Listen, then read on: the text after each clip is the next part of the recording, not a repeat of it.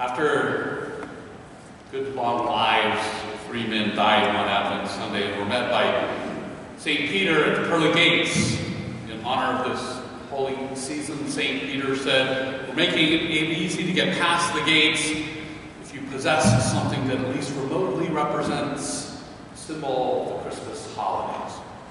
The first man fumbled through his pockets and pulled out a lighter. and flicked it and said, It represents a candle. We pass through the pearly gates, St. Peter said. The second man reached into his pocket, pulled out a set of keys, and shook them. They're bells. St. Peter said, You may pass through the pearly gates. The third man searched his pockets desperately and then sheepishly pulled out a pair of woman's glasses from a jacket pocket and waved it at St. Peter, raised an eyebrow and asked, just what do those symbolize? The man replied, they're my wife's. They're carols.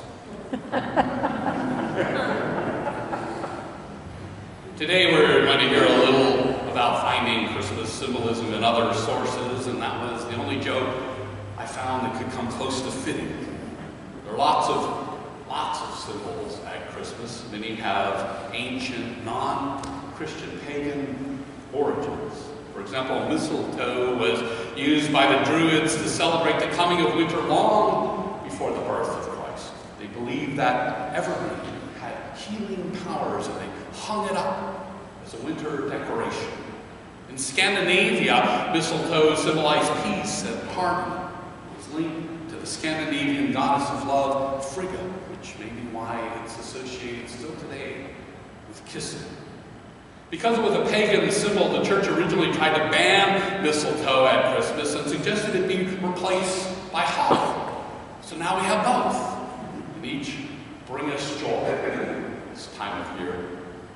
The date we celebrate Christmas is also symbolic in Christianity Today article notes that, quote, the eventual choice of December 25th reflects a convergence of concerns about pagan gods and the church's identification of God's Son with a celestial sun.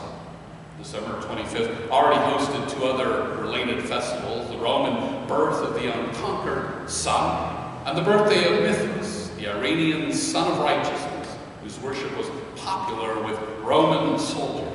The winter solstice, another celebration of the sun, fell just a few days earlier, seeing that pagans were already exalting deities with some parallels to the true deity, church leaders decided to commandeer the date and introduce a new festival in Christ Mass, what we now call Christmas, was that new, joyful festival.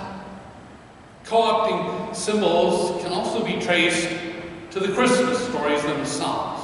And the co-opting in the stories in the Gospels is brilliant. Before Jesus, Rome claimed, Rome claimed Caesar was born of a virgin, associated with a star, and the Son of God. He was also called Lord, Prince of Peace, Redeemer, and Savior of the world. The first Christians took and made all those claims about Jesus. We still do. At that time, making use of such titles for the newborn Jesus would have been heard as either low lampoon or high treason. Rome wasn't laughing.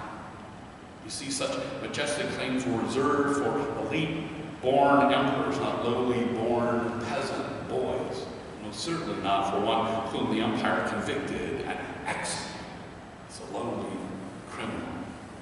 Giving such a fellow titles and honors reserved for the divine emperor of Rome was absurd to the Roman Empire. To them, Jesus was nothing more than a peasant and a criminal. But of course, Jesus' followers then and now know Jesus as so much more than that.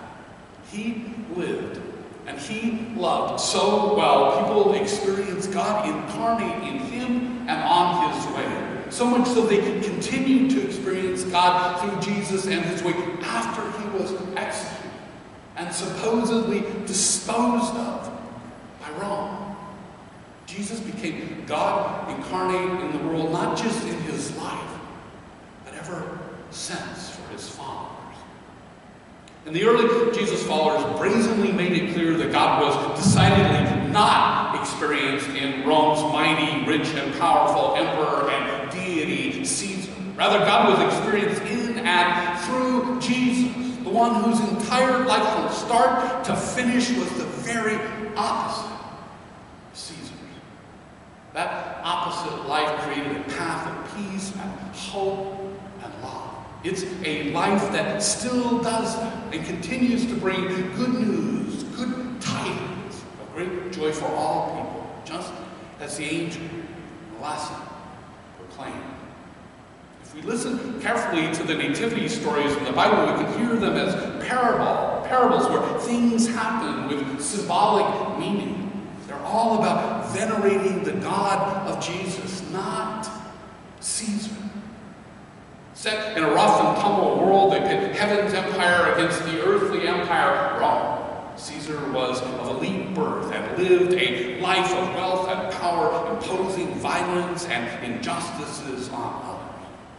Jesus was a humble birth and lived a life of peace, love, joy.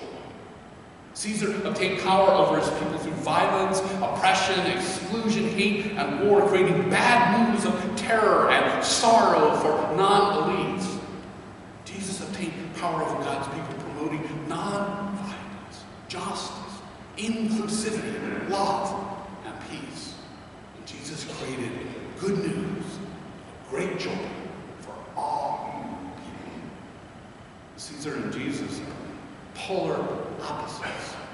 There's more than a little irony to Rome's claims that Caesar was born of a virgin associated with a star and called Son of God, Lord, Prince of Peace, Redeemer, and Savior of the world, as those very images and titles are now associated with Jesus and have been so for 2,000 years. We can hear the gospel say, no, Caesar is not God. Caesar is not those things. We reject those titles for him. The one to whom such titles belong to is Jesus, whom we experience as God incarnate, the Christ. In our lesson today, the followers of Jesus can be heard to be symbolized by those shepherds, people who were rough and tumble, outcasts in the culture at that time. Because of Jesus' birth, those outcasts Nobody's to most in their time and place experience God in the form of an angel and the glory of the Lord. And it scares them.